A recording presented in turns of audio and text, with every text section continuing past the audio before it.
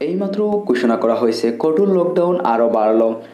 চলমান লকডাউন আগামী ষোলোই মে পর্যন্ত বহাল থাকবে বলে সিদ্ধান্ত নিয়েছে সরকার। এ সময় আন্তজেলা সব ধরনের গণপরিবহন বন্ধ থাকবে বলে জানানো হয়েছে।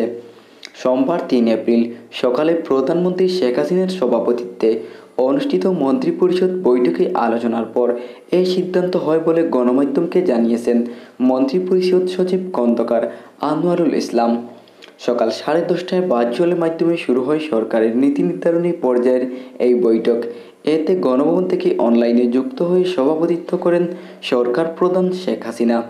সচিবালয় থেকে অংশ নেন মন্ত্রিসভার সদস্যরা। বৈঠকে বেশ কয়েকটি আইনের খসড়া ও নীতিগত অনুমোদন দেওয়া হয়। মন্ত্রিপরিষদ সচিব জানান, সংক্রমণ রোধে চলমান বিধিনিষেধ বহাল রাখতে হবে অন্তত ষোলোই মে পর্যন্ত। এই সময় দেশে বিপণী বিধান খোলা থাকলেও স্বাস্থ্যবিধি লঙ্ঘন করলে যেসব তাৎক্ষণিকভাবে বন্ধ করার সিদ্ধান্ত নিয়েছে সরকার। এছাড়া সর্বত্র মাস্ক ব্যবহার না করলে প্রশাসনিকভাবে আইনানুগ ব্যবস্থা নেওয়ার বিষয়ে চূড়ান্ত সিদ্ধান্ত হয়েছে বলে জানান খন্দকার আনোয়ারুল ইসলাম। দেশে করোনার ঊর্ধ্বমুখী সংক্রমণের মধ্যে গত ষোলোই এপ্রিল, চোদ্দোই এপ্রিল থেকে এক সপ্তাহের জন্য কঠোর লকডাউন দিয়ে সরকার এরপর এক সপ্তাহ করে বিধিনিষেধের সময়সীমা বাড়ানো হয়।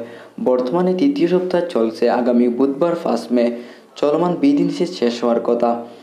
তো এই ছিল আজকের আপডেট নিউজ। পরবর্তী কোনো ভিডিওতে দেখা হবে। এই পর্যন্ত ভালো থাকুন, সুস্থ থাকুন। সবাইকে ধন্যবাদ জানিয়ে আমি বিদায় নিচ্ছি।